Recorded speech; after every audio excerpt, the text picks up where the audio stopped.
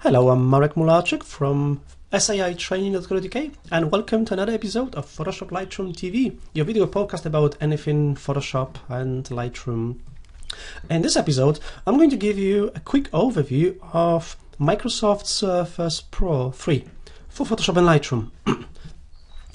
so, the machine I'm running here is the Intel Core i5 version with the 1.9 GHz processor, which goes up to 2.5 GHz, 8 gigabytes of RAM memory, and this one comes with the 256 gigabytes of SSD drive, which is plenty for me. It's enough for me. But you can also get more. You can actually get with Surface 3, you can get up to half a terabyte of SSD, and with you can also get a Core i7 as well if you want to.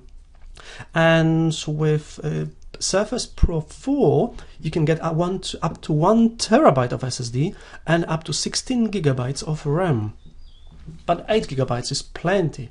And so I'm going to keep it open. Now let's launch Photoshop at this at the same time. We're going to open a number of images so you can see how quickly Photoshop opens. This is the latest version, 2015.5, and loads really quickly. I would say similar to the time it took to load it on my previous laptop, the Dell XPS 13 with the Intel i7 processor, 8 gigabytes of RAM as well. Let's open some images here. So get some images open some of these here. Here we go. So you can see how quickly they open here as well, really quickly. No problem at all. So got a number of images open. I'll launch maybe InDesign at the same time as well. I would agree with what Microsoft are saying that this is the tablet that can replace your laptop. It did replace my laptop, and I use it now all the time. I use it for training as well. And so I'm going to open something here. Uh, no, I've got this say this document for example or I'm just going to click go close for now or make a new document as well just an A4 document is fine it's got two documents open at the same time I'm going to close this info panel for now. I'll launch the Lightroom as well why not? So you can see how quickly it loads as well. Is it loading? Here we go. Might be a tiny bit slower. Now I did some tests on the on the Surface Pro 3 with the which one was it? Uh, this one with the 4 gigabytes of RAM memory and the Intel i3 processor as well and it was quite quick as well. It wasn't as quick as this one obviously but it was quite quick as well. So my suggestion would be if you don't mind your machine being a little bit slower if you're not an impatient person, even the 4 gigabytes of RAM version would be just fine. I'm talking about Surface Pro for Photoshop and Lightroom as well. It's just okay. So I'm running Lightroom and Photoshop and so many other applications here. We can do some stuff. So say if I go to one of these images here,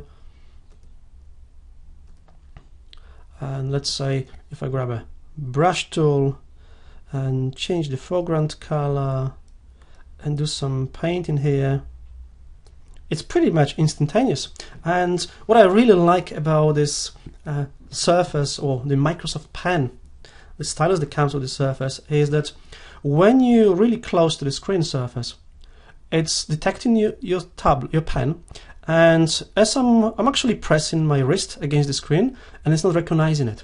It's only working on the actual tip of the pen. So you can rest it and you can fold it as much as you want. You can make it almost flat which is amazing. Not many laptops can do it. And we can do some more layers. So say if we duplicate a layer maybe another one. And another one. And add an extra layer.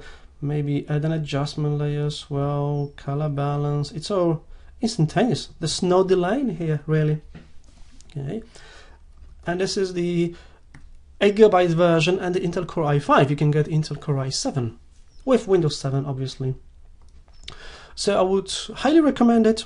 So far, I'm really liking it. It's got a full USB port, it's got a mini display port as well. So I've got to connect it to a big monitor right now. It also comes with the micro SD slot, so you can expand memory. So I've got this micro SD card with 64 gigabytes of memory in here, but you can also get 120 gigabytes officially. Might even work with bigger ones, not sure, but it does officially say up to 120 gigabytes of memory. So you can get loads of memory, and this is just permanently stored at the back of the Surface. You can also detach the keyboard. It comes with a really nice keyboard, and I'm sure you've you've seen some other videos about it if you're watching this video here. So I hope you enjoyed it. Thank you for watching, and something to think about. Microsoft Surface Pro 3 for Photoshop and Lightroom and other software. And that's this episode of Photoshop Lightroom TV. Thank you for watching. I'm Marek Mularczyk from SAI Training.co.uk. Have a look on my website for more information about my Photoshop and Lightroom courses. And I hope to see you next week. Uh, if you liked uh, the videos I'm creating, subscribe if you haven't already. Or let me know if you have any questions, post some comments. I'll be happy to help or reply and hopefully see you soon on the next episode of Photoshop Lightroom TV. Thank you for watching. Bye bye for now. Thank you.